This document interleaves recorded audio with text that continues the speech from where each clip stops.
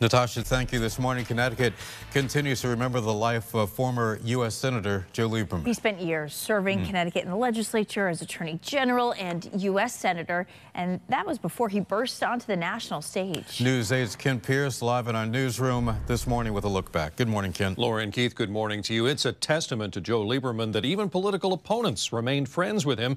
Democrats and Republicans held the senator in high esteem. You may remember Ned Lamont ran against Lieberman in 2006.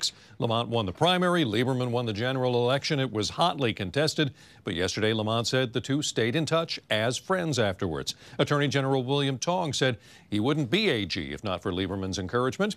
Remember, Lieberman spent 10 years in the state Senate and then six years as state attorney general before his four terms in the U.S. Senate.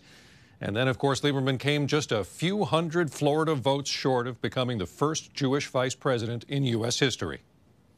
He was a person of faith. He was someone that prayed regularly.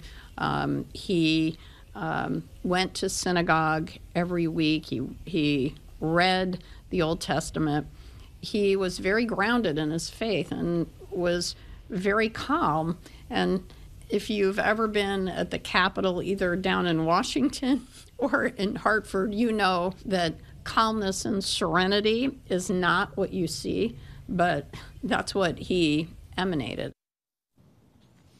But the greatest testament to Joe Lieberman might be that eight years after he was the Democratic vice presidential candidate, there was real talk about him being, being John McCain's running mate in the Republican Party. So people on both sides of the aisle certainly admired him. I had the privilege of talking to him many times over the years, and he was calm, as the lieutenant governor said, but he was also funny and smart and really just a nice guy. Live in the newsroom, I'm Kent Pierce. Laura, back to you.